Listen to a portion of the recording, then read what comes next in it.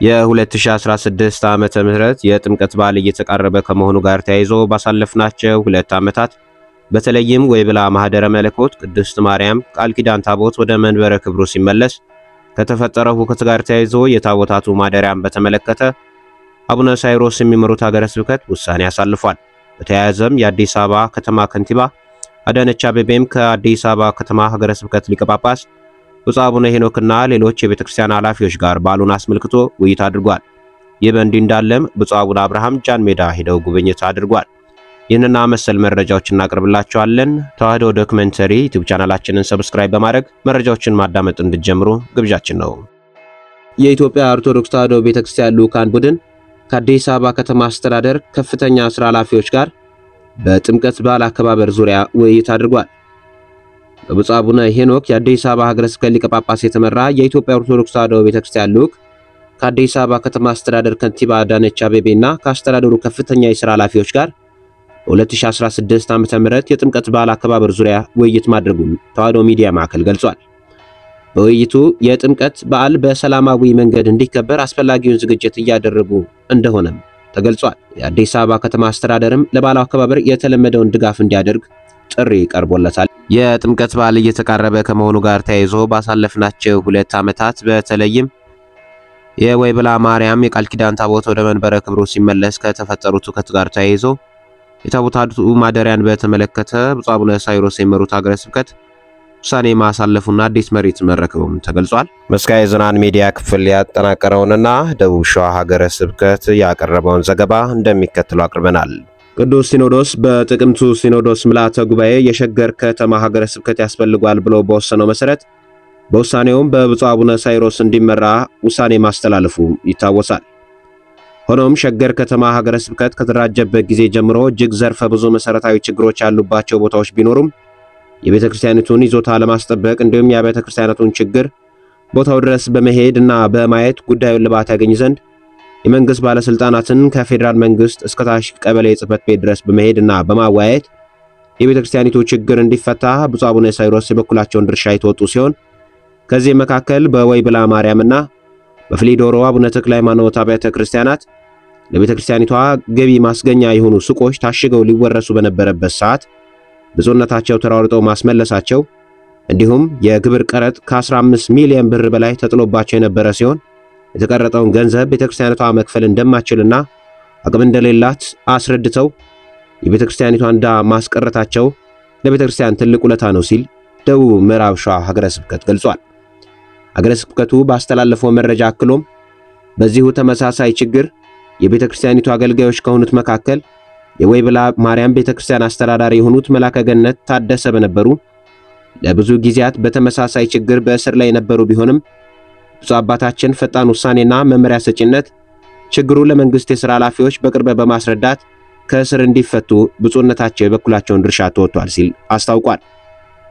ሀገረ ስብከቱ በመረጃው አቡነ ሳይሮስ ከስድስት በላይ አብያተ ክርስቲያናት በአንድነት የጥምቀት በዓል ማክበሪያ ቦታ የተረከቡ ሲሆን ለዚህም ምክንያት የሆነው ባለፉት ዓመታት በወይብላ ማርያም ቤተ ክርስቲያን በታቦታቱ በካህናቱ እንዲሁም በእምነቱ ተከታዮች ዘንድ ተፈጥሮ የነበረው አላስፈላጊ እንግልትና ሞት እንዳይኖር በማሰብ ብፁዕነታቸው ለመንግስት ይህ ችግር ዳግም እንዳይከሰት ለሚመለከታቸው የመንግስት ሥራ ኃላፊዎች በቅርበት በማስረዳት ለበዓሉ ማክበሪያ የሚሆን አዲስ ቦታ መረከባቸውን ሀገረ ስብከቱ አስታውቋል።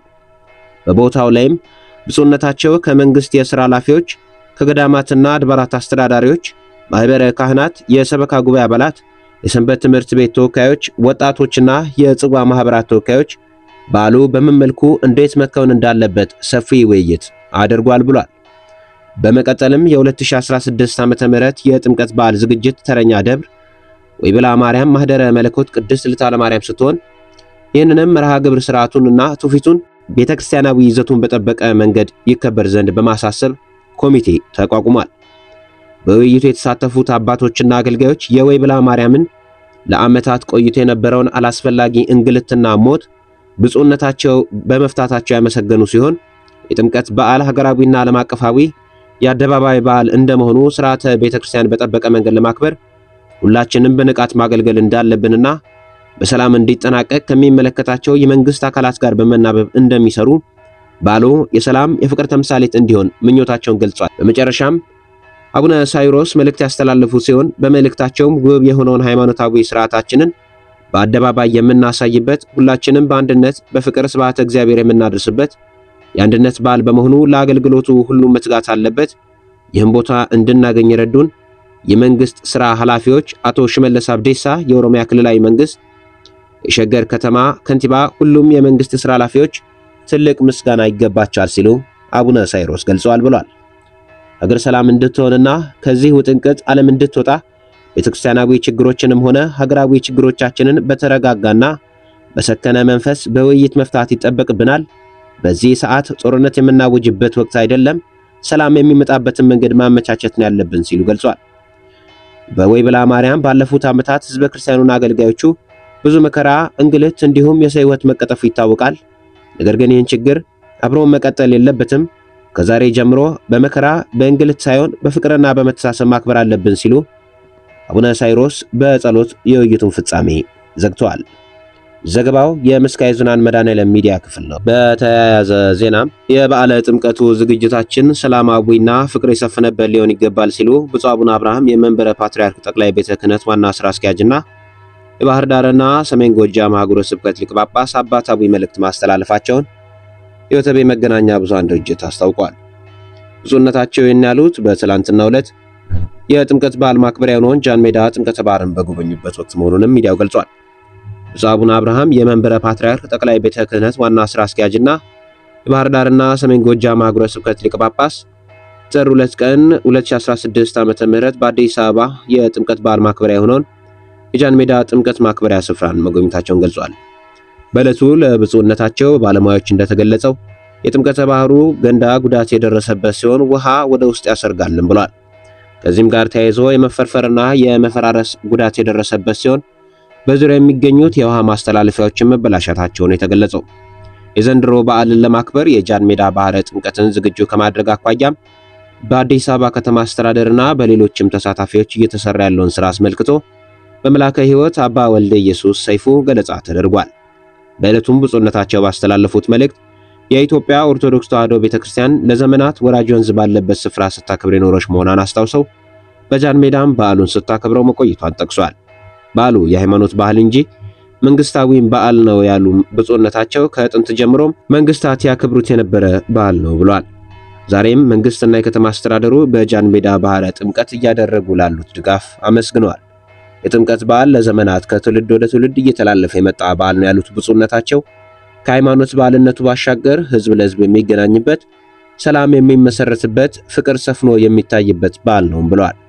በዓሉ ላይ የሌሎችም እምነት ተከታዮች ጭምር ከኦርቶዶክሳውያን ጋር የሚያከብሩት በዓል መሆኑንም አስታውሰው ሀገርንና ወገንን ከፍ አድርጎ ማሳየት የሚቻልበት በዓል ነው ሲሉ ገልጿል። ብፁዕነታቸው በጃን ሜዳ ጥምቀተ ባሕር የተሰራው ስራ ላይ ብዙ ሳይቆይ ጉዳት መድረሱም አንስተው በቀጣይ ዘላቂና የማያዳግም ስራ እንዲሰራ ከከተማው መስተዳደር ጀምሮ በየደረጃው ሁሉንም አሳስቧል።